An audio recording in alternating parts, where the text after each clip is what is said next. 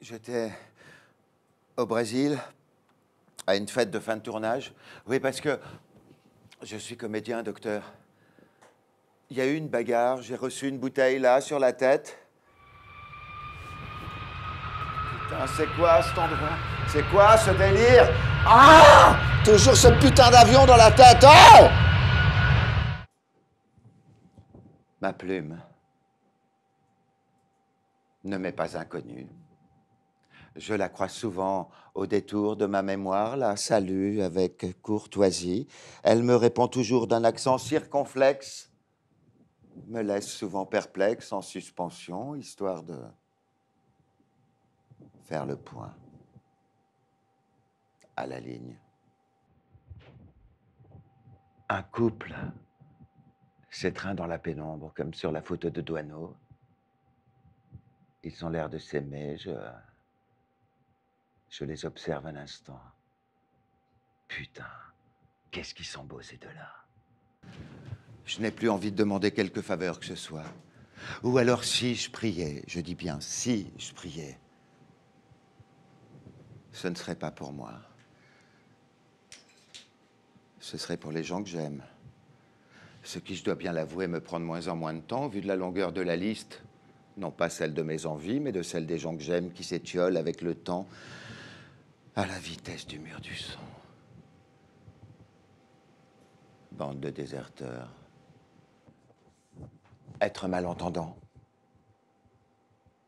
ça n'est pas ne pas entendre.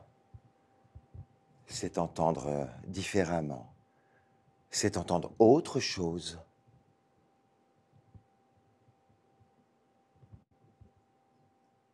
Voilà. Voilà, c'est ça ma vie en fait. Je passe mon temps à, sursauter entre la, la préhistoire et l'aviation. 18h30, tournage avec Mireille d'Arc. Ma douce Mireille, lorsque j'étais tout contre elle, je. Je pouvais entendre son cœur battre. Il battait au même rythme que le mien. Je pouvais écouter son trac. Et moi, ça me rendait plus fort.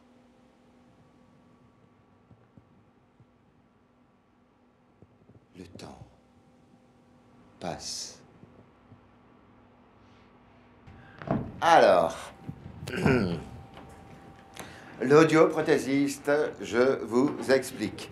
Il va s'asseoir en face de moi il va bidouiller des trucs sur ses ordinateurs, il va me mettre un casque sur les oreilles, il va m'envoyer des sons, certains aigus, d'autres graves. Je suis pas obligé de lever la main droite et de lui dire, je vous jure que je n'ai rien entendu. Ah tiens, pour une fois, je, je me demande si je vais pas lui demander si je peux lever la main gauche, parce qu'avec la main droite, je commence à fatiguer un peu. Vous croyez que c'est drôle, vous, de regarder The Voice sans entendre les chansons? Eh ben, je le regarde, figurez-vous. Et en plus, je le donne, mon avis sur les candidats, je me plante jamais. C'est le seul moyen que j'ai trouvé pour avoir encore un petit peu l'impression d'être dans ma vie d'avant.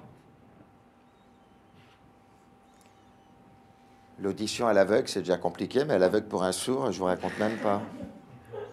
J'ai accepté à mon tour de me faire implanter.